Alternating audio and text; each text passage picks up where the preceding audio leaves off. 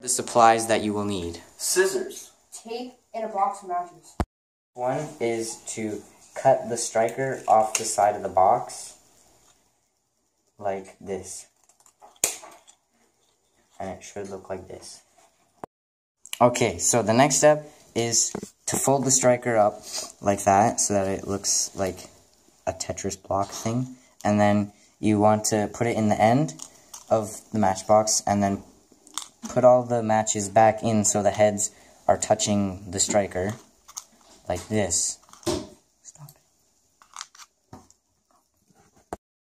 Okay, so something I forgot to mention is to keep in mind that's the striker and that's what's supposed to light the matches.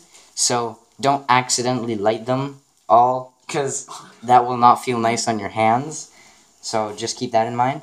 So the next step is to take the box that you've already cut the striker from and then put it back like that. Tape the box.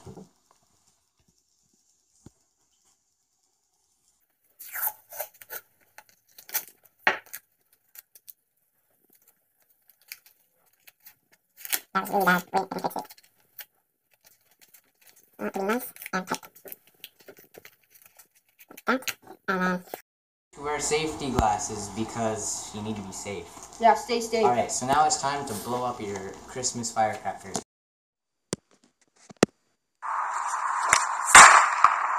Holy crap, did you hear that?